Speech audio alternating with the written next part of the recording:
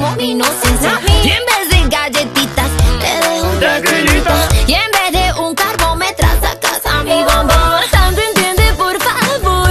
No hay por qué ponernos tóxicos.